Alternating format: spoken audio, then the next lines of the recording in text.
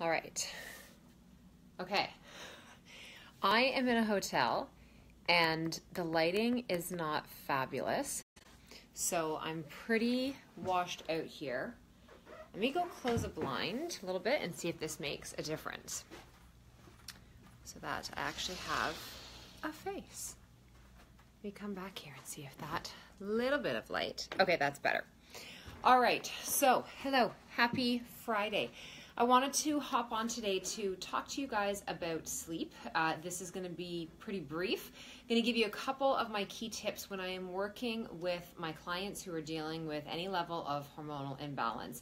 Um, the two are really symbiotic. They go hand in hand. If you're not sleeping well, your body isn't healing, your body isn't feeling well, you don't have the energy, and it's only a matter of time before it starts to feel like many other things in your body are starting to break down.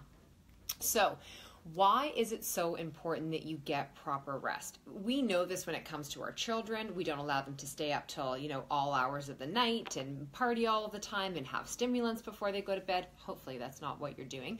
But when it comes to ourselves and our adult bodies, sleep is the thing that we will trade all the time for anything else. We'll trade in sleep for our exercise, to clean the house, to get more work done, to stay up and watch Netflix, to scroll on social media but your body is requiring this sleep because your brain is dependent on this in order to actually be able to clean up all of the toxins and the debris of the day that you have had.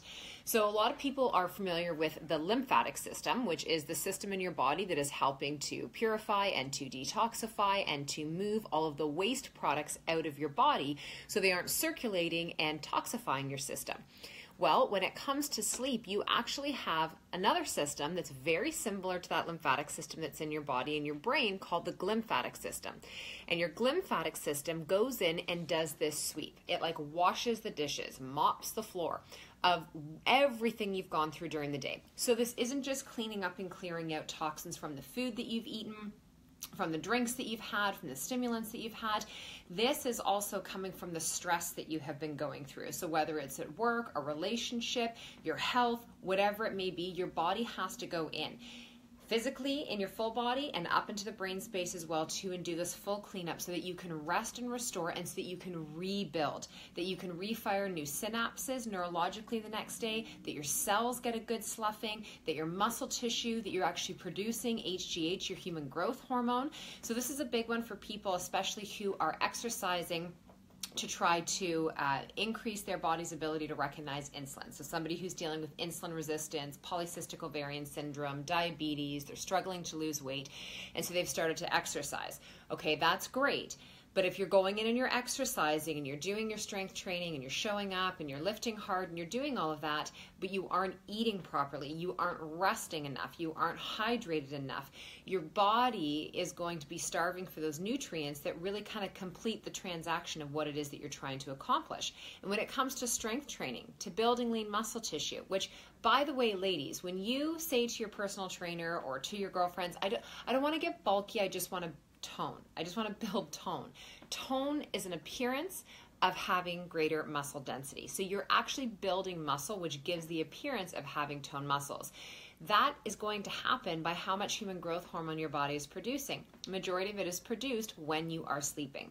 So it's so, so critical. If you have a high level of stress, if your thyroid is out of balance. If you're having issues with the communication from your hypothalamus to your pituitary gland to your adrenals to your ovaries, so you have heavy, painful periods, you don't have a period right now, you're going through perimenopause, and your sleep is just all over the map and it's not something that you are prioritizing, all of those other things that are out of balance are going to continue to grow bigger and bigger um, and just become, you know, that thing where we start to say, this is just me, this is just normal for me. I'm going to tell you that not being able to fall asleep at night or waking up between 1 a.m. and 4 a.m.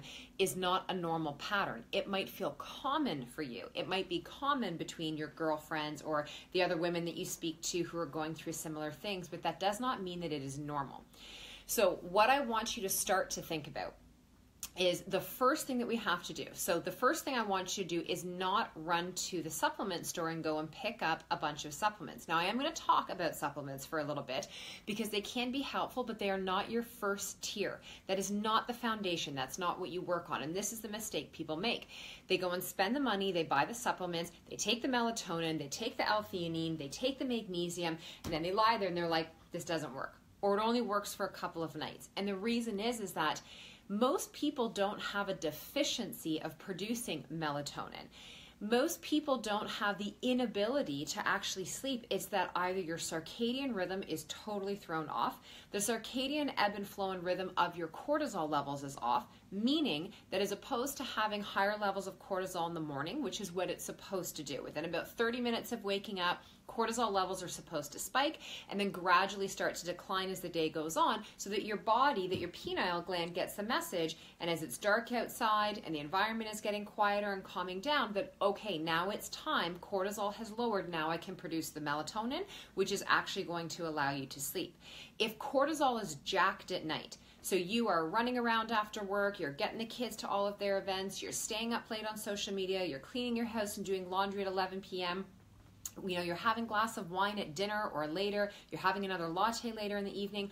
All of those signs are stimulants to your body and to your nervous system and to your adrenals those are not signs of like rest and digest and calm down and let's go to sleep. Those are all signs of it's still daytime, we're still on fire, we are still in anticipatory mode, life is still happening. Body, I need you to stay firing for me. And so we'll go through this pace and then we lie down in our bed and we're like, the hamster wheel starts to go, you're exhausted. Like every cell in your body is so tired, but you can't fall asleep because you've got all the wrong switches left turned on. Okay? I hope this is making sense so far physiologically you can't produce the melatonin that is required to have a restful night's sleep if your cortisol switch is still turned on. So we need to work towards turning the cortisol levels off so that melatonin can be properly produced. Now maybe you have something different happening where you don't have trouble falling asleep but you wake up between 1 and 4 in the morning. Now, this actually, this pattern doesn't just start before you go to bed. And really, sleep in and of itself, your sleep hygiene is going to start from the time that you wake up in the morning. How you live your day, how you show up in your day, is what is going to revisit you and happen at night. So if you wake up in the morning and every day starts with caffeine, maybe multiple cups of caffeine, you are going to be struggling throughout the day with balancing out healthy blood sugar levels. Your cravings are probably going to get the best of you. Uh, if you're having more of the stimulants, whether it's caffeine, and yes, that even includes black tea. Green tea is different, um, and organic is obviously the best choice and source, but that has polyphenols, and the caffeine doesn't actually hit our nervous system and spike our adrenal response the same way that having coffee does. Coffee is also quite estrogenic, so it is something that you really need to be careful of. Um, that being said, if your blood sugar is unstable, your cravings start to move out of control, all of these things, what goes up must come down. This is an internal stressor to your body. And when your body's under stress, whether you're having a hypoglycemic response because you've gone too long without eating or you haven't eaten the right things and now your blood sugar level is dropping and you're getting hangry, and then you respond by having something that's going to quickly pick your energy and your mood and your sugars back up. This oscillating activity that you're doing throughout the day every single time that this happens, your adrenals are going to be producing cortisol, which is your main stress hormone. The more adipose tissue, fat tissue that you have in your body, your fat tissue actually has the ability to create its own cortisol without even going to the adrenals and asking for that. So, behind the scenes, this cascading effect is going on. And so you get to the evening when you want to go to sleep and your body is jacked. You are like high and you can't get into that restful state when you're waking between 1 and 4, this is often times where your liver, so typically between, you know, at 3 a.m. and then again at 3 p.m., and sometimes it's a little bit before, not typically after, there's a reset point in our circadian rhythm and where the liver does a little bit of a, a tune up and a cleaning. This can oftentimes, if your blood sugar is unstable, have the body wake up. If you also are eating too close to going to bed, if you were overstimulated before going to bed, you're on your iPhone, you are on your iPad, whatever it may be, you have too much light that's coming in your room, you have electronics that are around you. that is again another sign that the body is going into a stress mode. And so, what will happen is your body will wake you in the middle of the night, okay? Now, some other things that might be happening too is you might be going to bed with way too much clothing on. Your bedroom temperature might be too hot. So, you're freezing when you get into bed at night. You bundle up, you get into bed, you pile blankets all over top of you. Maybe you even have a heating blanket that's in bed with you. And you go to sleep and you don't realize that you're hot until a couple hours later you wake up and are like, oh my gosh that excess level of heat, much like all of the environmental stimulants, is a stressor to your body and is going to increase your body's cortisol production. Getting up to pee in the middle of the night. Now, most people wake up in the middle of the night and they think, obviously, I have to pee, otherwise, why the heck would I be waking up? I'm going to encourage you to really ask yourself when you wake up do you really have to pee? Can you lie there a little bit longer? Because when you stand up, your body has now received the signal again, like, okay, we're in motion, we're upright, day must be beginning. I need to start to produce that cortisol again or you are going to the washroom and you have light on, and now your pineal gland recognizes that there is daylight coming in. Your body doesn't recognize whether or not it is, you know, in the middle of the night that it's like your bathroom light switch that's gone on or it's the daylight that's coming through. It's going to recognize light and think, okay, I'm getting this nudge to produce cortisol. So you get up to do this quick two minute pee and get back into your bed. The problem is, is your body received this message to start to increase that surge of cortisol production. Well, now you lie there and you start to toss and turn. And it takes you hours and it's so frustrating. And then we do things like we'll get onto our iPad or onto our iPhone because we can't go back to sleep. We'll turn a light on and read a book, and you're just actually further creating um, th- this little bit of a mess that's happening inside of your body at that moment. The reason most people don't fall back asleep until around 4 4:30 in the morning is because it takes that long for the cortisol to actually burn off. Once the cortisol burns off and your body's been lying still, now the body gets the message, okay, now it's dark again, we're lying still again. Okay, I guess we must be going to sleep again. I'll produce that melatonin and help this happen and you'll fall back asleep around 4 4.30 until your alarm goes off somewhere around 6 or 7 and most women that i work with tell me that those last few hours their most restful sleep that they get all night long and this is the sleep that they're living off of in their everyday this is so unhealthy and if this is something that is happening over a very long period of time it's only a matter of time before your adrenals become more affected, before the communication between your hypothalamus and your pituitary gland and your thyroid, your adrenals, and your ovaries starts to break down. You see, at the root of every hormonal imbalance that's going on in our bodies as women, it's actually a communication issue. That's really what's going on. Is there is miscommunication or misfiring of the communication or a lack of communication that is happening between various systems and various glands and hormones within your body. Your hormones are chemicals. They are strong, powerful chemical messengers that are having a conversation all the time. But conversations need to be led. They need to be directed, right? It's so we can understand this as a human being right now having this type of a conversation. But it's different when it's going on in our body because it's not something that we see happening. So this miscommunication goes on for so long beneath the layers and behind the scenes. And when you actually do have signs and symptoms, that's typically when things have started to get out of control a little bit. And don't freak out because there are so many things that we can do to get things back in place. When I work with women in the Hormone Project, we're together for about three months. It's a 10 week program, but you do private consultations. So, all in all, it's really about three and a half months that I spend with you. And pretty much every single woman who comes into that group who is dealing with some level of insomnia or sleep, you know, erratic patterns, we have rebalanced everything out and reestablished that circadian rhythm, their cortisol patterning all of that within that very short period of time. So there are solutions. So, how do you begin? What do you begin with? Well, you could go back and watch from the beginning and do the antithesis of all the things that I said most people are doing right now. Reduce your sugar and reduce your stimulants during the day. Stabilize your blood sugar. Consume more healthy fats. Get more fiber. Get more protein in. Hydrate your body. Break up with your connection to coffee so that we can reestablish this healthy function in your adrenal glands and your liver. Ladies, if you are trying to balance your hormones and you aren't addressing your gut, your liver, and your adrenal connection, you might as well just stop what you're doing. You would get so much further along if you were to press pause on all of your efforts and actually learn and educate yourself on the processes that need to happen. If you're not dealing with your digestive situations, if you're constipated and the exit path is bunged up, please stop trying to do detoxes and work your way from the top down. You've got to work at addressing your food sensitivities, the things that are causing inflammation in your body, in your specific individual body. Remove those irritations, replace them with healthier foods, rebuild and reinoculate the environment, that ecosystem that is your microbiome, your gut okay? And then from there, we've got to work on your liver. This is where you're metabolizing your hormones, your estrogens. This is where, you know, methylation is taking place. You have two phases of detoxification. So your body, you know, as a woman, you're producing three different forms of estrogens, and then there's three different pathways that they will actually be broken down to to be properly detoxified through two more pathways to get out of your body. It's a complex system and it requires you to honor and respect your body in a way where you are not junking your system up. You're not drinking wine X amount of nights a week. You're not having all the sweet lattes. You're not skipping the meals. You're not doing these extreme dieting tactics. You know, you're not skipping the process of actually healing what's going on in your body and just running out to buy a bunch of supplements. If you're constipated and you have a congested liver, you have heavy menstrual cycles, breast tenderness, extreme PMS, acne, anxiety, depression, and mood swings, I'm guaranteeing you majority of those supplements you're buying, they're acting like a band-aid right now. They will not solve the root cause. You have to go beneath the surface.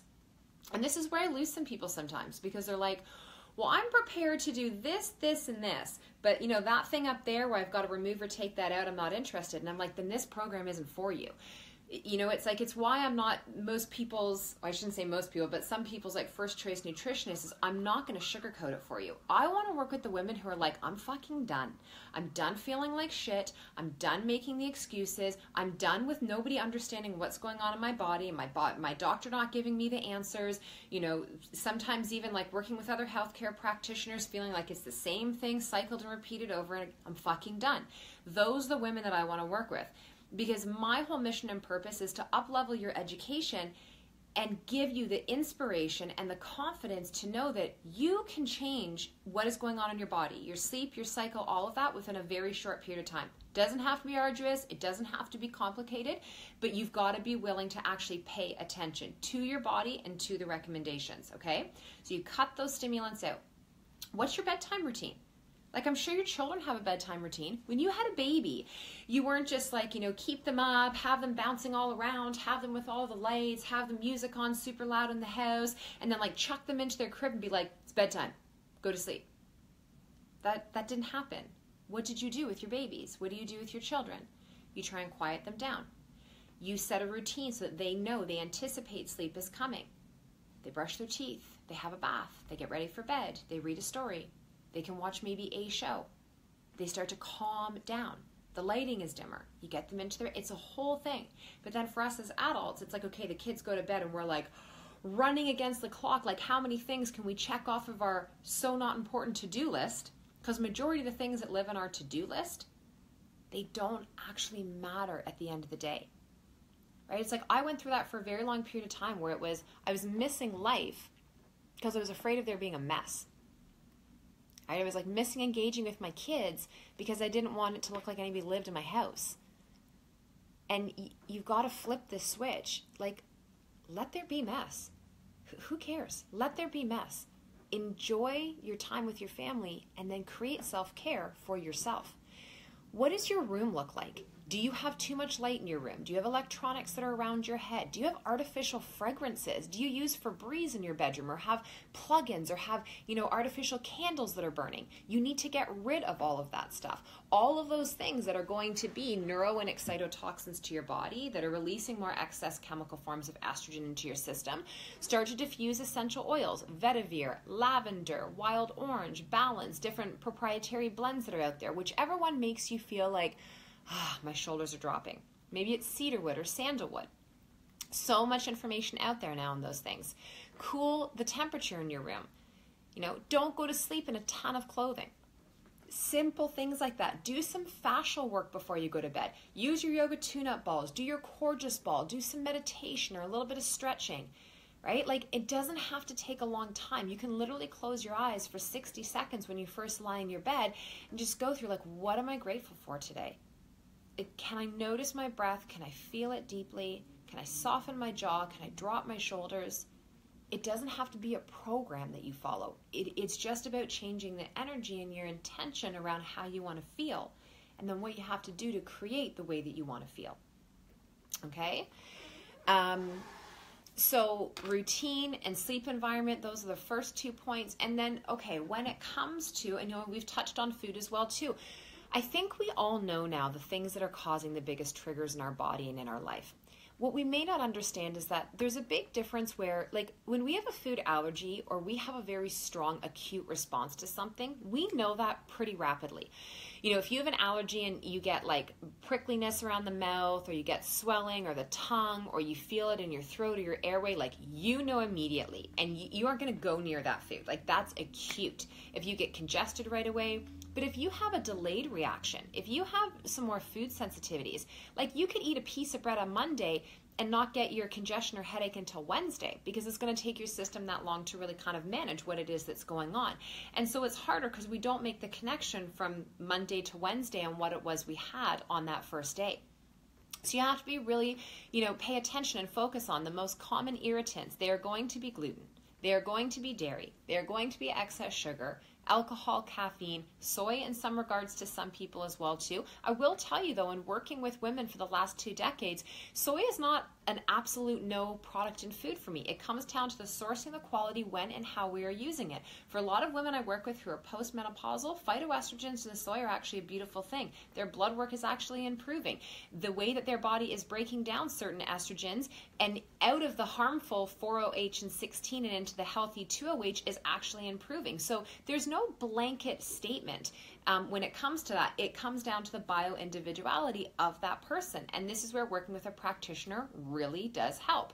Now, I don't recommend having it every single day, even for the people that are postmenopausal. I don't recommend having the same thing of anything every single day. Um, so that's really important to understand and to know as well too. The other thing that I would recommend to you is taking a look at how close to bed are you eating. Try and have at least two to three hours before you go to sleep without eating something. Try to have a period of intermittent fasting where you have at least 12 hours from dinner to breakfast. So that would mean if you ate dinner at 6:30, you're not having anything again until 6:30 in the morning. That's a 12-hour fasting period. Give your digestive system a chance to actually break things down, to heal, to rest. That's truly what digestion means. Give your brain the opportunity through your lymphatic system to do the same thing. If you're eating right before bed and you eat as soon as you wake up, there's not enough time in between there for the real work to start to happen, okay? Um, and then when it does come to supplementation, I always talk about my foundational five. That is from the womb to the tomb, right? It's your probiotics, your vitamin D, your magnesium, your juice plus, and what's our extra one? Your omega 3s. Um, for that. So those are your elementals. Now, what are the key ones that can help sleep in the evening? So, First thing would be magnesium. Typically, I find, and does it matter if you're doing the bisglycinate versus the citrate? Again, really comes down to you as the individual. Naturally Calm, which is the powdered citrate, easy to put into your water and to drink before bed. Good one for people who have constipation to help to increase the motility and get things flowing and going. Bisglycinate, um, I find that one tends to work a little bit better for people with sleep and usually about 400 milligrams. Now, again, I don't know you, I don't know your health history, so don't take this as the black and white, is what I'm saying to you. I'm painting a general picture for you, okay? Um, how you'll know if you've taken too much magnesium is you will have looser bowels. You're not going to like poop your pants in your bed, okay? That won't happen. But your body will let you know that it might have been a, little bit too much. But I have some clients who are taking like four and five times what the bottle says um, in order for their body to actually be able to respond. Depends how deficient you are in that mineral right now. L-theanine is a beautiful one. So L-theanine is actually derived, extracted from green tea coming from the same leaf, but it doesn't have a stimulating effect. It actually has the reverse on your nervous system. It takes you out of that fight or flight sympathetic and drops you into your parasympathetic, which is where that rest and digest happens. L-theanine or withania are my preferred choices for the person who can't stop thinking about the things they didn't get done in the day. So it might not mean that you fall asleep like that, but you are going to have a more restful experience on your way into sleep. And that's one of the things in the beginning is, you know, you need to get to bed by 10, 10 30 at the latest. You put your eyes back in your head because yes, that is when you need to get to bed. But if you can't fall asleep at that time, you can still be resting. You can do a brain dump, you could journal, you can listen to a meditation, you can do your fascial work, but you're still sending the message to your body to rest. You have to train your body. You have to train your system. This can't just happen over a night or a couple of nights. Like this becomes a habit and a pattern and routine and then a ritual that you do over and over again.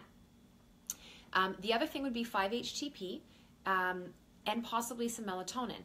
I haven't found great results in giving melatonin on its own. I like it in a combination. So, the synergy of how certain nutrients work in our body. So, I'll have somebody take two or 400 milligrams of magnesium about an hour before bed. And if they don't remember an hour before, they can take it right before. Um, Oh, I'm just seeing some posts. She knows her shit. Thank you. um, but I really love when 5-HTP, L-theanine, and melatonin are all put together. And there's a really great product, and this is not like a sponsored paid endorsement. Okay, it's not. That's not what this is.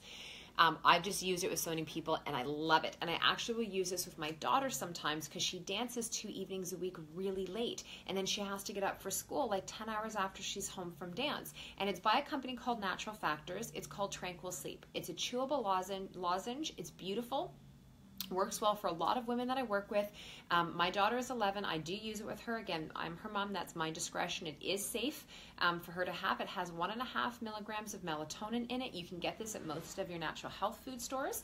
Um, and and I have found it to work beautifully. And with the essential oils, not just diffusing in your room, but putting some onto your wrist.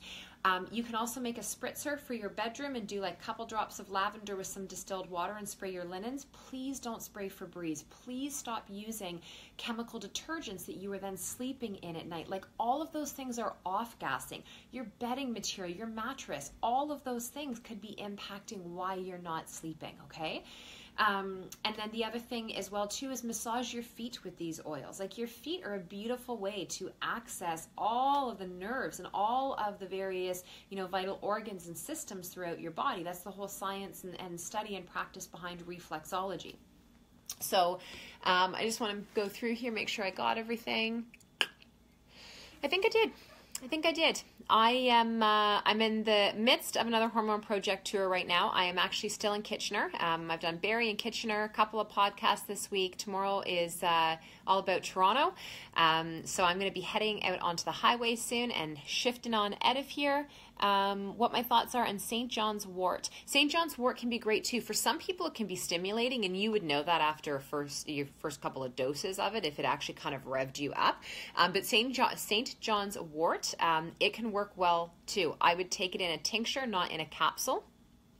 Um, oh, Katie, you're in Kitchener. Yeah, I spoke last night at Westmount Golf Course. Don't worry, I'll be back. I'll be back probably end of spring, early summer. Um, but if you like Facebook Lives like this, I'm actually going to be doing a series. So this is the first of five that I'm doing over the next week and a half. Um, and we'll give you, you know, notice the day of or the day before. These are recorded. We'll keep reposting them. You can go to jennpike.com and opt in for the newsletter. Mondays, Wednesdays, and Saturdays, I send you out valuable information just like this. You know, it's I'm just here to try and I'm on a mission to revolutionize our education as women about our bodies. And I call you to be part of this. And I call you to share this with as many women and young girls as possible. Okay? We all deserve to know this information. It's actually not fair that there's just only a, a certain amount of us that are getting it right now. So continue to pay it forward. Um, yes. And yeah, if you are interested in the Hormone Project, um, we start on January the 29th which is a Monday. So, in a week and a bit, you can go to jennpike.com um, or you can email us personally at info at jennpike.com and we can send you the direct link. You can look at the entire program, everything it entails, the weekly schedule, the whole gamut, and get yourself onto the list and get your first consultation, your private consult with me booked right away.